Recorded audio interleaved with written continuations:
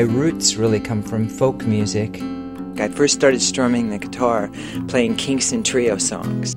I had a Kingston Trio wannabe band when I was 14. I started every song with the, an acoustic guitar and I developed the lead vocal so that it stood by itself.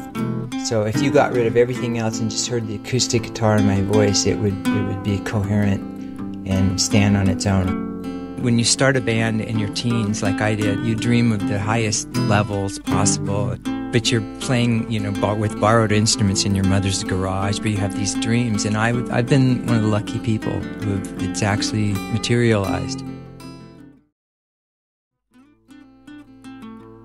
I've sung on a lot of records in my past. I sang on a lot of Steely Dan albums.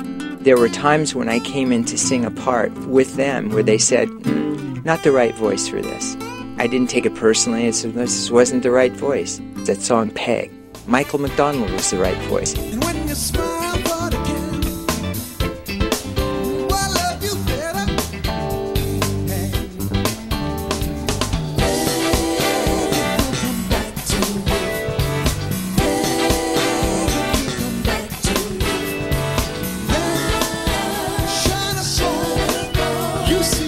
I tried it, didn't work as good.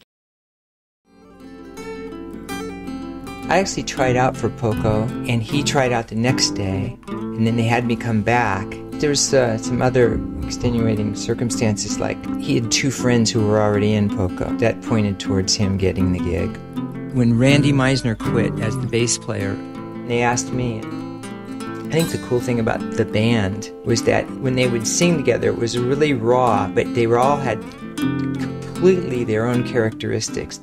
Follow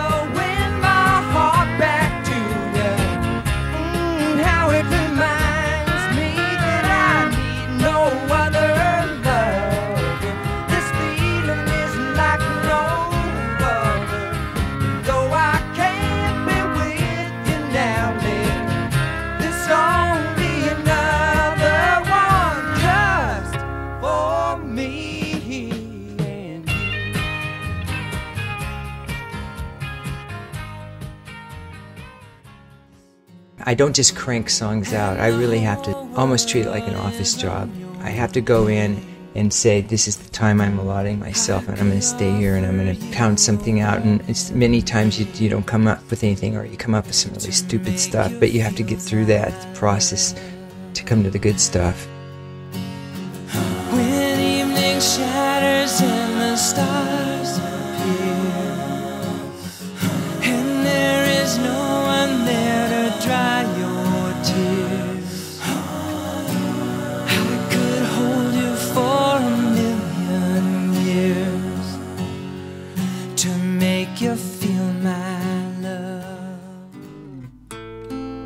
so many people, aspiring young musicians who had all these dreams of fame and fortune and all that.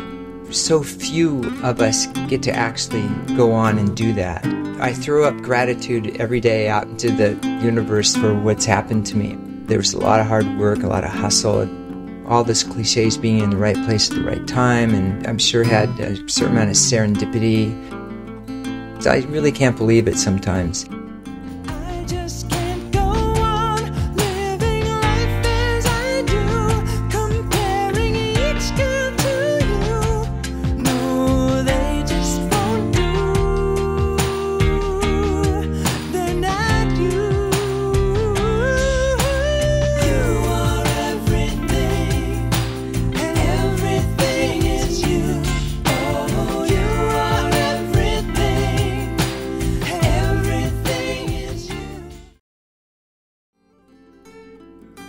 I was in the Coral Reefer band for a very short time. Jimmy asked me if I wanted to play for the summer. Yeah, I ended up playing for a little longer than that. I was in his limo. We were driving to one of these shows. We call them sheds. They're outdoor venues, not stadiums, but uh, sort of partially covered in grass. Some of the people start, They'll recognize me. And Go, look, there's a limo there. There's Jimmy, and and he and I said, oh, you should you should stand up and give the papal wave, you know, because his fans just adore him.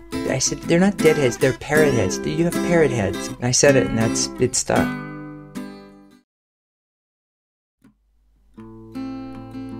Don and Glenn had started this band and uh, went through a bunch of changes musically.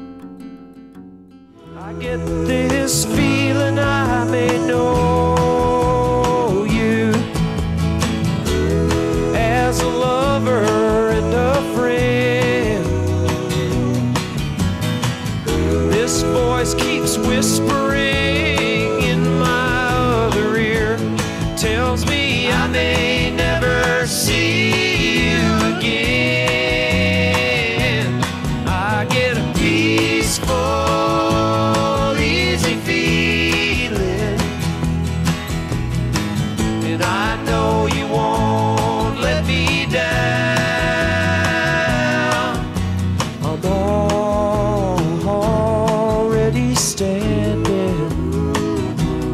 like I'm already standing. Yes, I'm already standing on the ground. Meisner quit as the original bass player.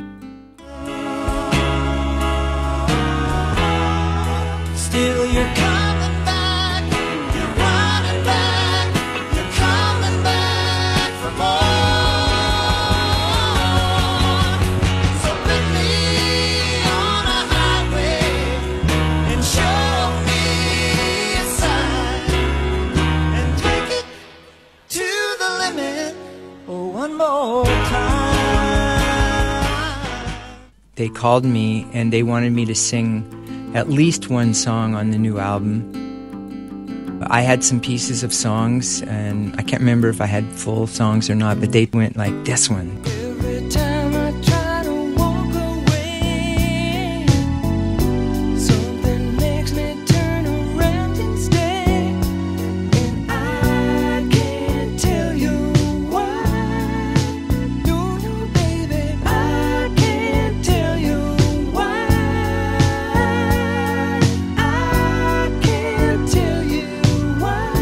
It's really great that it's so well known. I'm happy that, uh, that people like it. The general question I get a lot is what makes the Eagles keep going and make such an impression on generation after generation? And I think, I mean, I know it's, it's not just our voices or our musicianship, we're very good at that, but it's simply songs.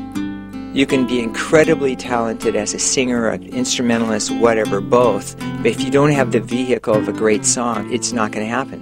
And that's what it is, it's the songs.